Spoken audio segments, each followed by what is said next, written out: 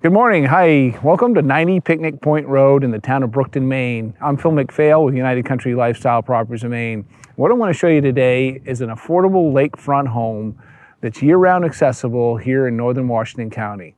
This home features one floor of living, full basement, two bedrooms, a bath, plus an oversized two-car garage that's detached with potential more living space on the second floor of the garage. So come along with me, we'll take a look at the entire property together today. Before we go in and take a look at this property, don't forget to like and share this video with your friends and hit that subscription button down below. Put on all notifications, you won't miss our next video. And by the way, if you're thinking of selling your property here in the state of Maine and you'd like to have it featured here on this YouTube channel, give us a call at 800-286-6164. We cover most of the state of Maine and we've got agents um, all over the place. I'm sure we can help you sell your home. I'm standing here in the middle of Picnic Point Road and I'm not too, I don't have much fear for my life here in this road. There's only a couple year-round residents on this road. Most of the cabins are seasonal. Brookton, where we're at today, is, is in northern Washington County. And the nearest town of any services would be Danforth, and that's about 13 miles north of us here. In Danforth, there's a bank, there's a grocery store, and a few other shops. The nearest city to us here would be the city of Calais, which is about 45 miles south of us. Bangor, northern Maine's largest city, is about 100 miles away from here.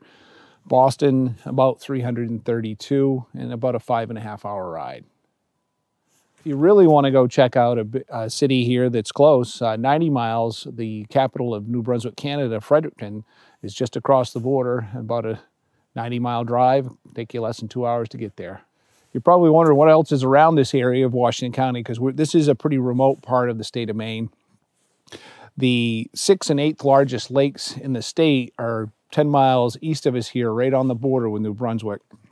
That's East Grand Lake and Spednic Lake. Those two lakes are beautiful for boating. There's cold water fishery there. There's uh, exceptional, exceptional smallmouth bass fishery in both those lakes one and a half miles from this location is another huge lake, just under 7,000 acres of Baskahegan Lake.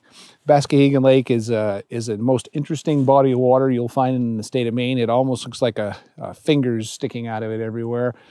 Not a deep lake, but it's got, it's right full of smallmouth bass. A lot of the guides take their sports there when they know they want them to catch fish. They'll catch them at Baskahegan Lake. Washington County has more conservation lands than all other counties in Maine per capita. We've got uh, hundreds of thousands of acres here in some sort of conservation or other. Up and down the entire county, we'll have a map here on the screen. You can kind of get an idea of what that looks like. So if you're looking for places to go hiking, hunting, fishing, boating, you name it, whatever you want to do outdoors, uh, there's plenty of room around here to do it. While we're talking about that, most of this town and a lot of the townships surrounding Brookton is owned by the Baskahegan Company. Baskahegan Company is a uh, timber company that is really into sustainable forestry. They do a wonderful job managing their forest here in this area of Maine. They own tens of thousands of acres that they have open to the public. You can snowmobile on their road system as long as it's not plowed road. Uh, you can hunt in there. You can go fishing. They own all the land around Baskahegan Lake. So, you know, really, a really good company, uh, a lot of access for the public on lands surrounding this home and this whole town. And last but certainly not least, the uh, Grand Lake Stream Village in Grand Lake Stream itself is 32 miles south of us here. That is a mecca for fly fishermen that like to come up here and catch trout and salmon in that beautiful crystal clear waters of uh, Grand Lake Stream. And in the village, you also have a boat landing, an exceptionally good boat landing for access into West Grand Lake, who's, you know, also is, is famous for trout, lake trout, and, and salmon fishing. We're down here at the shore of Jackson Brook Lake where the property fronts here. And this is Jackson Brook Lake behind me. It's about 731 acres of, of water here. Maximum depth's about 20 feet. Great place to catch smallmouth bass, perch, and pickerel. And this is kind of interesting because there's another lake that's connected to this called Drake Lake. You'll see it on our, our overhead shots and the map here. But Drake Lake is uh, down on the far end of the lake. There's a thoroughfare you can boat through to get into that. That lake's about 260 acres. A lot of undeveloped shoreline on both these lakes, especially on Drake. There's only a few cabins down there. Most of that land is not developed. some sandy beaches for swimming down there, also great fishing. All right, so now that we've talked about the lake, so let's take a look at the land here. Um, we've got an acre of land, all surveyed, and got 154 feet along the shoreline here. And as we come up, what you're gonna notice about this lot, oh, by the way, there's a nice aluminum dock that comes with this property. And it's fairly deep water right off the shore, so you can you can keep a, a dock here and a, and a boat, no problem. What you're gonna notice about the land is it's relatively level. Uh, very gentle slope up to the house. The home we're gonna go take a look at next. So this, this land comes up, hits Picnic Point Road and has a little bit of land on the other side where the garage is. And because this road has very little traffic, you're really not gonna have any issues having the road here close to the house. This would be all lawn area up here. Our drilled well is over on the other side of the lot. We have a septic system right here and we have a design plan for that. If you'd like to see it, we'd be happy to send that to you as well. All right, so beautiful lot. Let's go in the house and start looking at that and then we'll finish up over in the garage. Folks, I just came in through this side door here on the driveway side. We do have another entrance off the front porch. Um, talk to you a little bit about this house. It's a 24 by 32 modular ranch style home on a full foundation. This home was built here in 1996. Very well done. Uh, it's quite simple. It's 768 square feet, so it's not a huge house. Easy to take care of. All vinyl siding on the exterior. The, the interior, we got vinyl on the floor and match V-match pine on the walls and your uh, drywall ceilings. If you want to see, we're going to take you through the whole house, but if you really want to see the floor plan in detail, we will have a Matterport 3D virtual tour, and there'll be a link to that in the description below this video. Or if you can't find it there because you're watching on television, just give us a call and we'll email you that link. So folks, this is our kitchen area, obviously, and we have a double sink here, electric range, and uh, microwave and the refrigerator. Those all convey with the home as we move over here, we have a nice little pantry closet for storage, food, whatever you want to keep in here. You'll notice we do have uh, forced hot air heating, and we'll talk about that more when we get in the basement. But up here on the first floor, we do have a heat pump for both air conditioning and heating. This 8 by 15 porch out here is all screened in, and it has an absolutely fantastic view of Jackson Brook Lake. And you know screened in so if the bugs are out in the spring and early summer you got a way to get away from them and still enjoy the lake do a little barbecuing out here. As we come back in we're going to move through the house over into the hallway and look at the bedrooms and bathroom. So coming out of the living room we step through this archway here into the hallway. And down here on this end of the hall we do have the first bedroom. This bedroom's nice little bedroom with a with a closet here on the end Following down the hall, we go to the bathroom, which is right here in the center between the two bedrooms. It's got a full tub, shower, sink, toilet. And then back out down the hall, right here in the center of the hall, we do have washer and dryer hookup. So it's in this closet. You've got plenty of storage in here above it, but that's kind of handy being close to the two bedrooms. And then as we continue down the other hallway. Here we do have a bit larger bedroom. This one's all finished in V-Match Pine as well. And if you're wondering what this is, this is your access to your electric panel. We do have a 200 amp circuit breaker panel here on the wall. That's nice and handy. And then this big closet here behind us. Back over here in the kitchen by the entry door, this is our access to the basement. We're gonna go and take a look at this next. We do have a full concrete basement down here. so we concrete floor, concrete walls. On this wall right here, we have the entry doghouse that goes out to the backyard towards the garage. Next to that here on the wall is an electric on-demand water heater. So you're only, you're only heating water as you're using it. Over here, we've got the 275 gallon oil tank.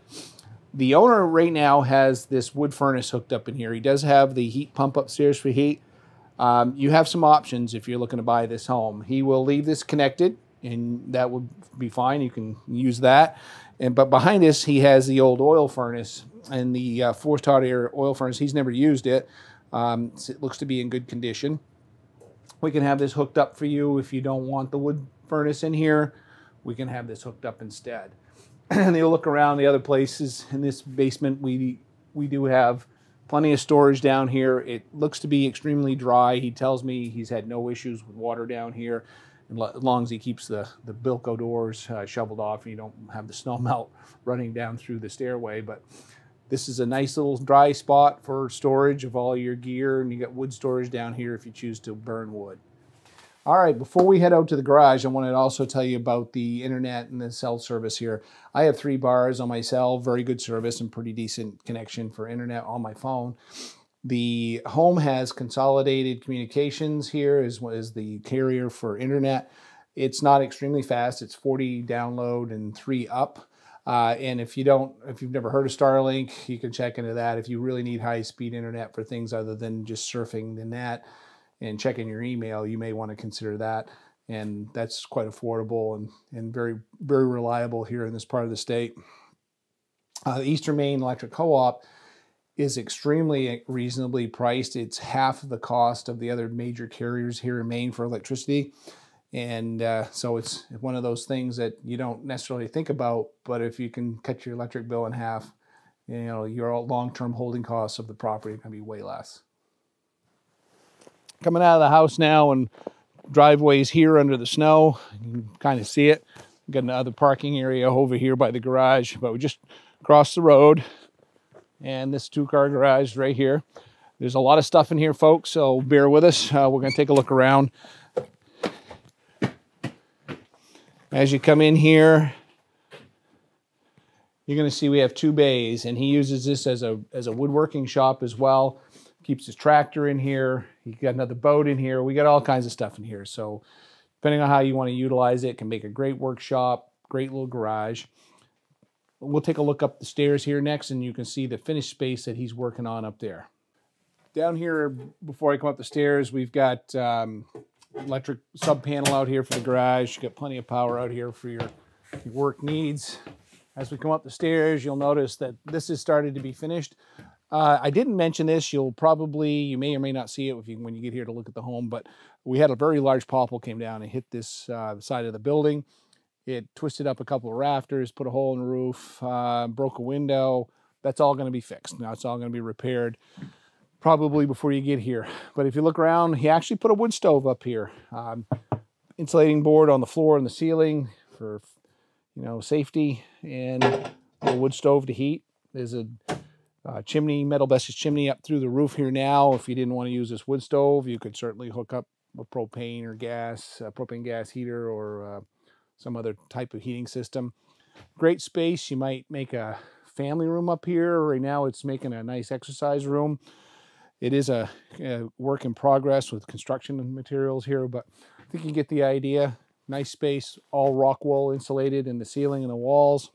Could be a big family room, uh, exercise room combo, maybe put a little bar up here, man cave, whatever you want to call it. Kind of a nice extra space. Thanks for taking this tour with me today of 90 Picnic Point Road here in the town of Brookton. Now wrap it up with all the details for you. Our asking price on this property is $250,000. The taxes are just over $1,300 a year. We're in an unorganized township, so that's a very low tax rate here in Washington County. The, uh, as I mentioned earlier, you also have Eastern Maine Electric, which is the lowest uh, cost electricity in the state of Maine. Don't forget those low taxes, those low electric bills, they'll add up, save you a lot of money over the course of your ownership. We've got two bedrooms, one bath. A home was built in 1996, 154 feet of frontage out on the lake. If you need to know any more information, give us a call. We'll send you a property information packet. I'd be happy to show you this house. Give me a call today.